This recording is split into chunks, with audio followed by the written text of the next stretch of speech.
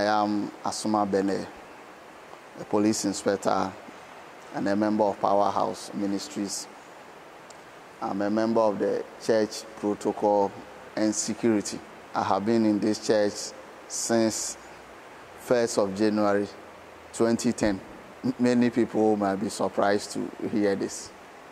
But I first take a decision to be a member of PMI when I attended the all-night service of 31st December 2009. And so daybreaking 2010 January, I decided to be a member of PMI. So God willing, by 31st of December this year, I'll be 10 years as a member of PMI. I joined this church at the time when we were not in a, a block building. In fact, when I came, it was a wooden structure. At least the foundation was block, but it was a, a wooden structure. It was not bad, but it was a small place with a lot of heat and so on and so forth. Due to the hard working of the pastoral team being headed by Pastor Bernard, gradually there was a decision to put up this magnificent auditorium or the church building. We thank God that now we have a decent place to worship. The church I see at Powerhouse is a far different from what I experienced during my childhood. Here is a family.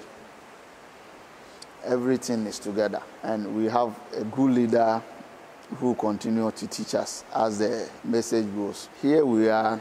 What keeps me going and keep me telling people about Powerhouse is about the teaching of Pastor Bernard. And I've not hidden it from him anytime I meet him on one on one. I praise him, I congratulate him, how he says the truth as it should be.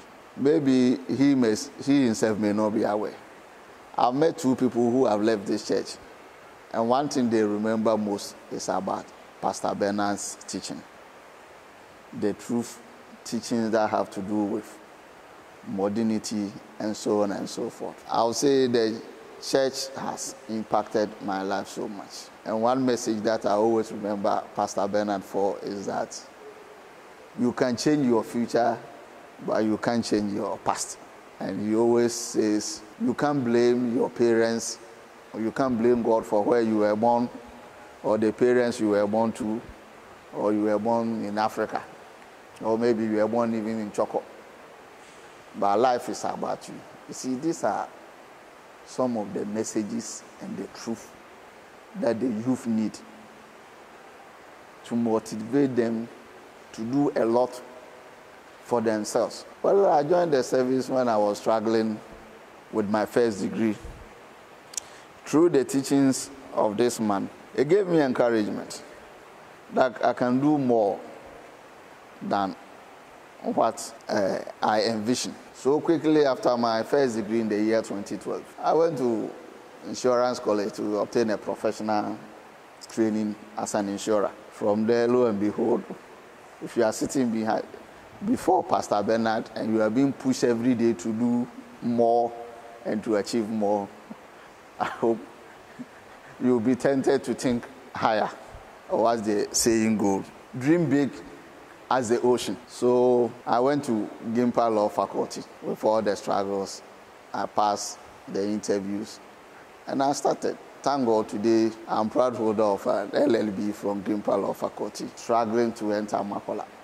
If I've not, it has not been powerhouse, I think that would have relaxed along the line. So that is why I'm saying this is a place for the youth, and this is the place you'll be pushed to do the right thing. I don't know experiences of others, but if they understand the teaching and they are following, I think they'll be compelled. And it's not me alone. A lot of the young guys are studying, including the ladies. In some places, women are meant for giving birth, but not in powerhouse. 10 years, people have been assisting me. I don't know who knows, but for the past five years, It is between me and her alone. Maybe today a lot will hear from this video. My relationship with Auntie Efiba, how we have been struggling for the past five years that nobody knows. I've run to Pastor Ebo on many occasions for school fees that I don't, I don't think many people know. So you see, this is the church that you need to be. It's not about the word of God alone, as the pastor preaches every day. It's not about spirituality alone. But the physical development is also important. And if you are in a church like Powerhouse, you will do well. So it is my prayer that we will not remain at only Chorkor or few branches in Accra or Ghana. But what I pray for the church in the near future is that there will be more pastors. And I pray that some of us, no matter whatever is holding us back, one day we will get the courage to take up the mantle